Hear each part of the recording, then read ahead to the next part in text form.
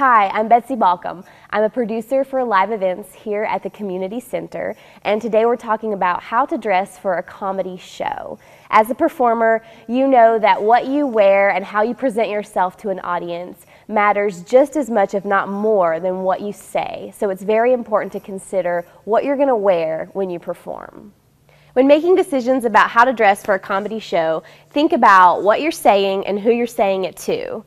If what you're saying is largely about, I don't know, a famous icon like Marilyn Monroe, maybe you want your dress to reflect that and you have a crazy blonde wig and red lipstick on. If you're performing to a lot of children, think about do you want to have a very detailed and fun, fascinating costume that's kind of interactive that maybe you can take pieces on and take pieces off.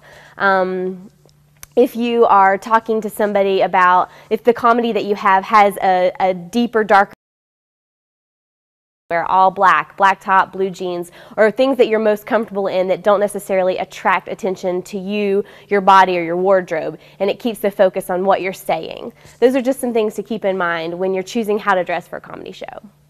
Keeping these things in mind, now consider how you can change it up a bit with the impact of changing your wardrobe, whether it be adding a prop or taking it away, and the importance of that. If it's a hat or a cane or a cigarette, it can always imply and add a layer to your story.